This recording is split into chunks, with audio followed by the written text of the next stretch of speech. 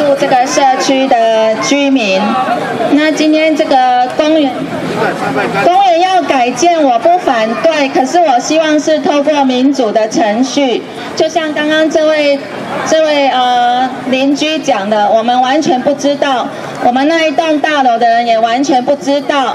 可是私底下很多人表示赞成要经过民主的程序，可是今天站出来的人却这么少，因为大家都不想得罪里长或得罪反对的人。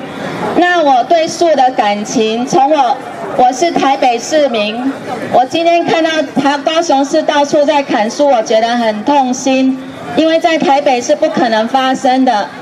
我在高雄住了六年半。这让我深深感受到为什么叫做高雄没有文化。从这一件事情就可以感觉得出来。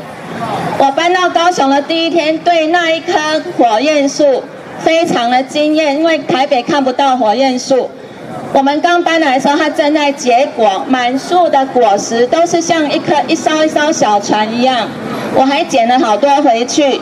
然后等它开花的时候，我到处拍这个火焰树的花。有一天，我从我从那个地下道出来，我看到一个奇特的景象，因为它的果实正在喷种子，就一直往天空不停的喷，真的很漂亮。我觉得这是对下一代最好的教育。一个公园是社区的肺，你如果树木不够，我们这边的空气就不会新鲜。我们一个公园不可以永远只种一种树，必须生物多样化。今天树会开花而被砍掉，这是像什么花？树因为台风会倒，是因为它的树根不够深。每一棵倒下来的树，你去看看，树根只有不到一公尺，它怎么承受那一棵树的重量？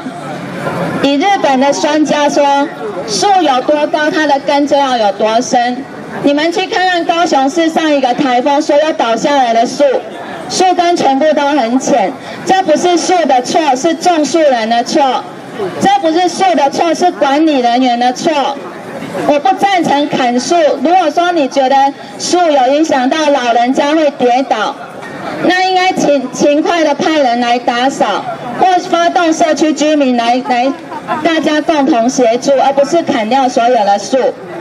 今天夏天都还没到，上个礼拜那么热，大家都已经感受到没有树荫的痛苦了，怎么可以再砍树？所以我强烈要求要开启开启通呃叫什么会？公听会，或者是要经过民主的程序。我不反对他种树皮，我不反对他移植，可是不能乱砍树。谢谢各位。